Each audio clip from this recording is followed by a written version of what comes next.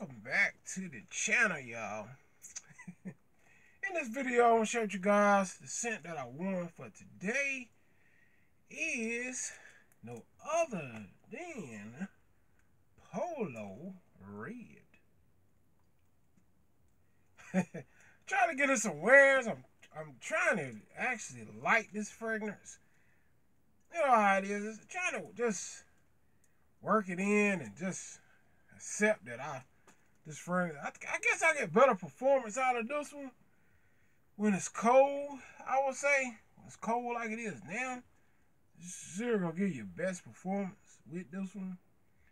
Um, first apply like I just shot here to the skin or whatever. You get about a good hour and a half to maybe two hours of projection with this fragrance. Starting off, you know. Um, I worn this about like a month ago. Uh, it was actually warmer. See, by being warmer, I guess it might not perform as well as it could do, I will say.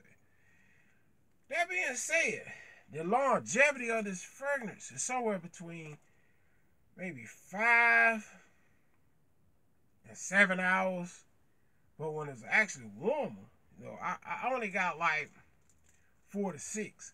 So that that is pretty good, man. That, that is good. I said to drop in, let you guys know my scent of the day. Sometime I do that.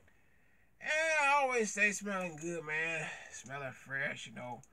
If you ain't never smelled the Polo Red, actually give it a try, man. It smells pretty good. If you like a little like a coffee, slightly vanilla-y uh, vibe. It hits out there pretty good, man hits out there pretty good.